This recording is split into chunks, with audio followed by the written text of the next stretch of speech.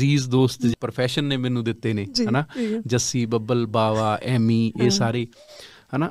ਅਸੀਂ ਆਪਸ 'ਚ ਗੱਲਾਂ ਕਰਦੇ ਰਹਿੰਦੇ ਆ ਸੋ ਮੈਨੂੰ ਇਦਾਂ ਲੱਗਦਾ ਕਿ ਜੇ ਕੋਈ ਇੰਡਸਟਰੀ ਦੀ ਜਾਂ ਇਦਾਂ ਦੀ ਕਿਸੇ ਤਰ੍ਹਾਂ ਦੀ ਵੀ ਕੋਈ ਪਰੇਸ਼ਾਨੀ ਹੁੰਦੀ ਆ ਤਾਂ ਉਹ ਮੈਂ ਮੋਸਟਲੀ ਬੱਬਲ ਨਾਲ ਜਾਂ ਜੱਸੀ ਨਾਲ ਸ਼ੇਅਰ ਕਰਦਾ।